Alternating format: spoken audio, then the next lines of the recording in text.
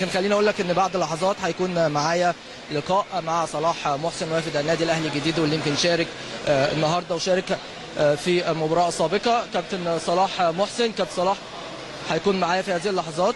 طبعا آه، أحد نجوم النادي الأهلي وأكيد نتمنى له كل التوفيق خلال المرحلة المقبلة. صلاح برحب بيك في البداية فوز جيد جدا والنهاردة فوز مستحق وتاني مشاركة ليك مع النادي الأهلي. لكن في الأول عايز أتكلم عن مباراة النهارده من وجهة نظرك شايفها إزاي؟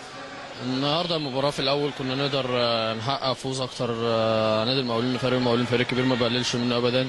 فريق المقاولين فريق كبير آه، النهارده النتيجه كانت ممكن توصل لأربعة بس اللعيبة يعني الحمد لله اللعيبة قدرت تعمل اللي عليها وإن شاء الله يعني الشوط الثاني قدرنا نعوض إن شاء الله يعني الفترة الجاية نبقى قد المسؤولية بإذن الله أكتر من كده يعني إن شاء الله.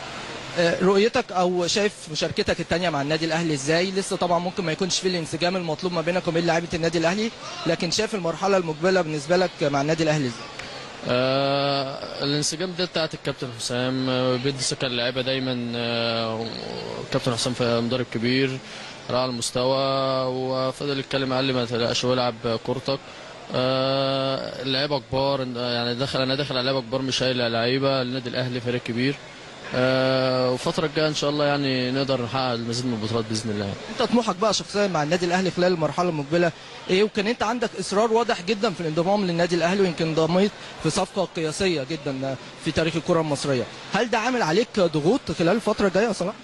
هو من الطبيعي اللي أي لاعب يخش في حاجات زي ديت وبقى عليه ضغوطات بس أنا الحمد لله يعني قدرت إن أنا اعدي الخطوة ديت. آه، النادي الأهلي أي حد يتمنى يلعب فيه. آه، وإن شاء الله نقدر نعمل حاجة إن شاء الله لجماهير النادي الاهلي جماهير العظيم وبإذن الله نقدر نحقق البطولات بإذن الله. شايف إن مسابقة بطولة الدوري خلاص حسمت بالنسبة للنادي الأهلي ولا لسه شوية؟